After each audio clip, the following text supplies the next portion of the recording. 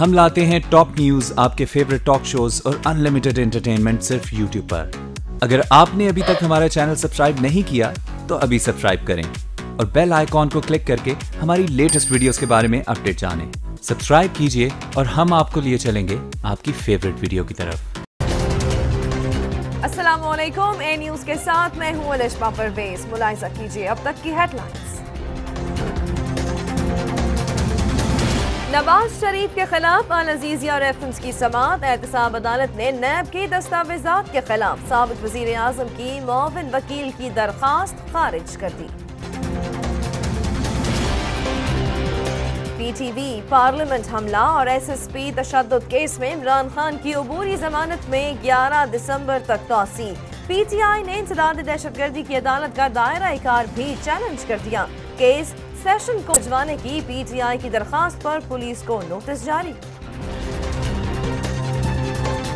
سیاسی کازنز ایک بار پھر میدان میں آنے کو تیار۔ عمران خان نے سانحہ ماڈل ٹاؤن کی رپورٹ کے بعد عوامی تحریک کے ممکنہ احتجاج میں بھرپور شرکت کا اعلان کر دیا۔ کپتان نے حکومت کو فیض آباد دھرنا ختم کروانے پر فوج کا شکریہ ادا کرنے کا مشورہ بھی دیا۔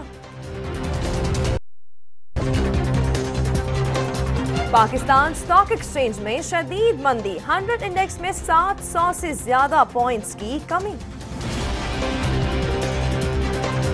پاکستان سمیت پوری مسلم امہ اور یورپ میں یورپ بھی امریکی صدر کے فیصلے کے خلاف اٹھ کھڑا ہوا۔ کسی کو یک طرفہ طور پر ایسا فیصلہ کرنے کا حق نہیں۔ اقوام متحدہ کا رد عمل۔ او آئی اور عرب لیگ کے ہنگامی اجلاس طلب مختلف ممالک میں مظاہرے پھوٹ پڑے۔ امریکی سفارت خانوں کا گھیراؤ۔ کالی گھٹائیں آنے کو ہیں تیار۔ محکمہ موسمیات نے دس دسمبر سے بارشوں کے نئے سلسلے کی خوشخبری سنا دی۔ مسلسل چار روز تک بلوچستان سمیت ملک بھر میں بادل کھل کر برسیں گے۔ پہاڑی علاقوں میں برف باری کا بھی امکان۔ میرا